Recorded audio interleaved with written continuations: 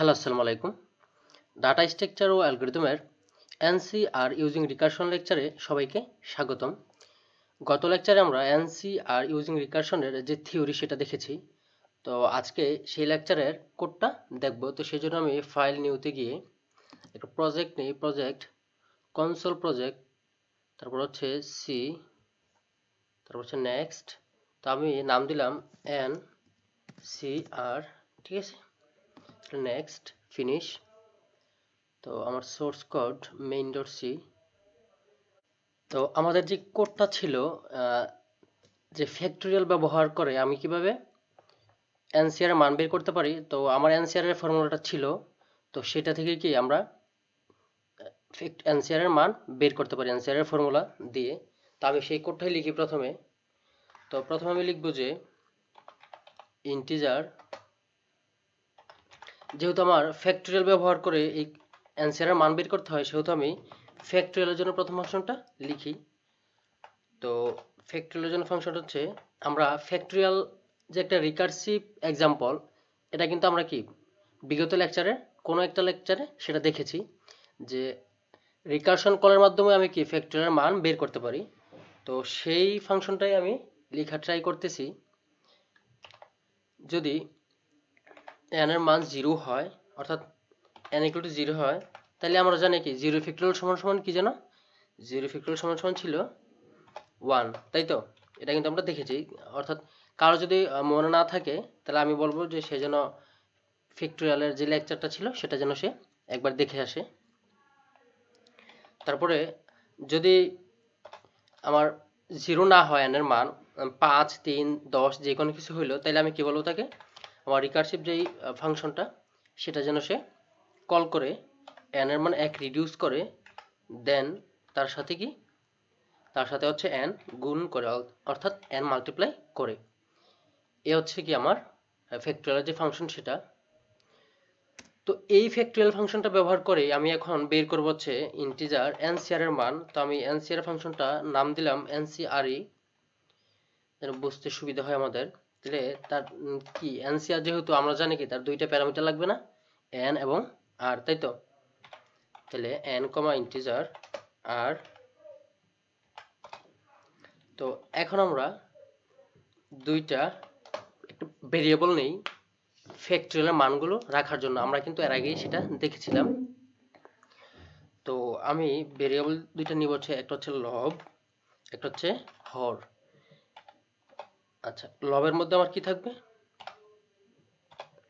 লবের মধ্যে থাকবে, আমি এই ফর্মুলাটা কি জানতাম? যে N factorial divided by R factorial into N minus R factorial তাই না? তাহলে লবের মধ্যে হচ্ছে এন ফ্যাক্টরিয়াল তাহলে আমি ফ্যাক্ট ফাংশনটা কল দিই, যে ফ্যাক্ট ফাংশনটা কল দিয়ে আমি তার মধ্যে এন ইনপুট করব, যেন ফ্যাক্টরিয়াল এন এর মান আমি পাই। তারপরে হর, হরের মধ্যে আমার কি থাকবে? হরের মধ্যে থাকবে ফ্যাক্টরিয়াল আর এই যে ফ্যাক্টরিয়ালের ফাংশনটা কল দিলাম, তার মধ্যে একটা ভ্যালু দিলাম আর যেন সে আমার আর এর ফ্যাক্টরিয়াল বের করে দেয়। দেন মাল্টিপ্লাই আকারে ফ্যাক্টরিয়াল আবার কল করব, যেন সে এন মাইনাস আর ফ্যাক্টরিয়ালের মান আমাকে বের করে দেয়, তাই না? তাহলে আমরা লবের মধ্যে ফ্যাক্টরিয়াল এন রাখলাম, আর হরের মধ্যে factorial R multiply factorial N minus R রাখলাম।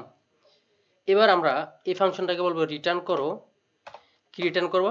লব বাই হর তাই না? একদম সহজ হিসাব।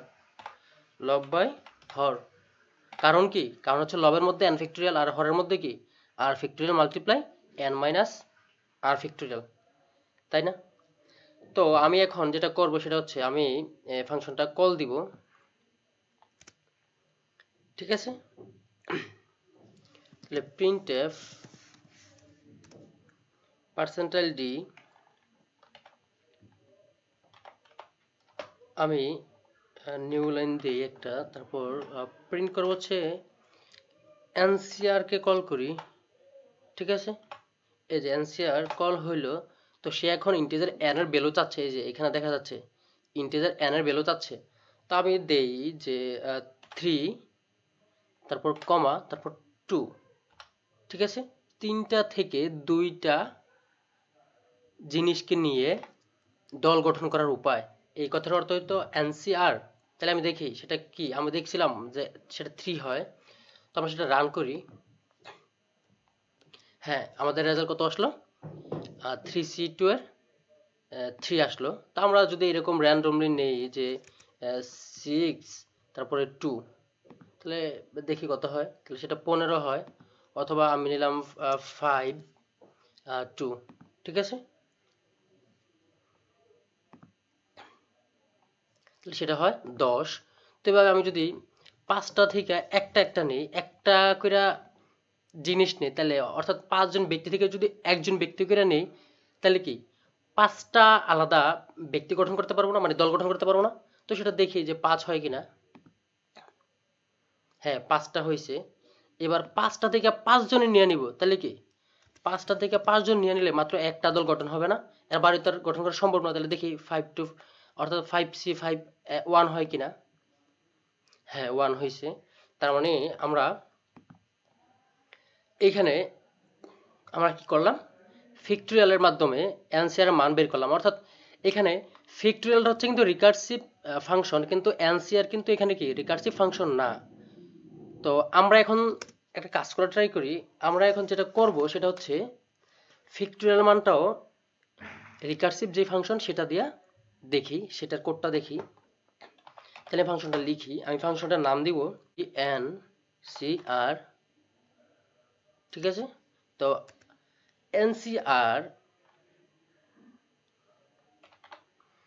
সে কি করবে?